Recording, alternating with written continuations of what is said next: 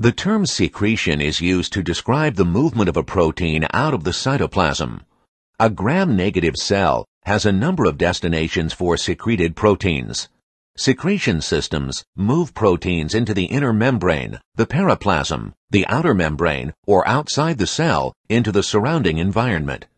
Special export systems are required to move hydrophilic proteins through the hydrophobic membrane barriers. Let's examine how proteins are delivered to the inner membrane.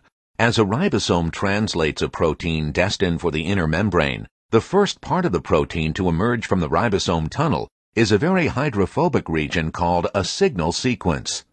A cytoplasmic structure called a signal recognition particle, or SRP, quickly binds to the signal sequence. SRP, which is a complex of RNA and protein, essentially paralyzes the ribosome. SRP delivers the stalled ribosome and its nascent protein to the cell membrane, where SRP binds to a membrane protein called FTSY.